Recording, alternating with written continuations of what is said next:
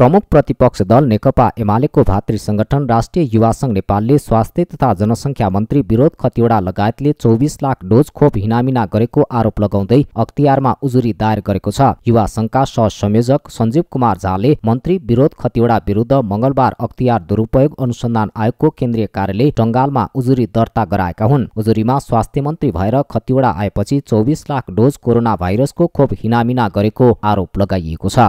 नेपाल सरकारका स्वास्थ्य मन्त्री श्री विरोध खतिवडा मन्त्री भई जिम्मेवारी वहन गरेपछि चौबिस लाख खोप डोज भ्याक्सिन हिनाबिना गरी करिब दुई अर्ब चालिस करोडको राज्य कोषको रकम हिनाबिना गरेको हुँदा मन्त्री विरोध खतिवडा तथा यस कार्यमा संलग्न अन्य व्यक्ति उप छानबिन गरी भ्रष्टाचार निवारण ऐन बमोजिम हदैसम्म कारवाही गरी पाउँ भनी अख्तियार दुरुपयोग अनुसन्धान आयोग ऐन दुई हजार अडतालिसको दफा तिन बमोजिम यो निवेदन गरेका छौँ।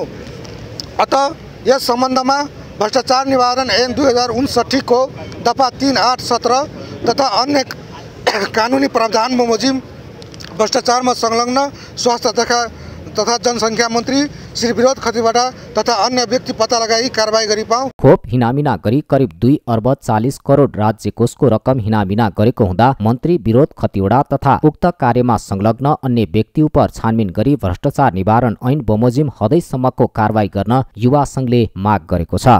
अहिले सिङ्गो देश र आम नेपाली जनताहरू कोभिडको महामारीबाट ग्रसित भइरहेको अवस्था छ र जनताको स्वास्थ्य सुरक्षाको ग्यारेन्टी लिएको सरकार र यो सरकारको पनि एउटा मुख्य जिम्मेवार निकाय स्वास्थ्य मन्त्रालय।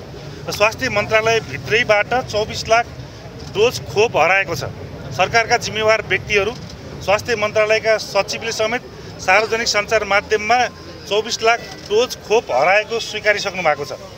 र आम जनताको तिन करोड नेपाली जनताको स्वास्थ्य सुरक्षाको ग्यारेन्टी लिएको सरकार र त्यसको जिम्मा लिएको स्वास्थ्य मन्त्रालयभित्रैबाट चौबिस लाख डोज खोप हराउनु भनेको अत्यन्त लज्जास्पद र अत्यन्त जनघाती कदम हो। केही दिन पहिले स्वास्थ्य तथा जनसङ्ख्या मन्त्रालयका सचिवले नै प्रतिनिधि सभाको स्वास्थ्य तथा शिक्षा समितिमा चौबिस लाख डोज खोपको विवरण मन्त्रालयसँग नभएको अभिव्यक्ति दिएका थिए। मन्त्री खतिवडा सहितका अधिकारी विरुद्ध उजुरी दिनको लागि एमालेका केन्द्रीय सदस्य तथा युवा सङ्घका संयोजक किरण पौडेल सङ्घका सङ्गठन विभाग प्रमुख क्षितिज थेबे लगायतका नेता अख्तियार पुगेका थिए।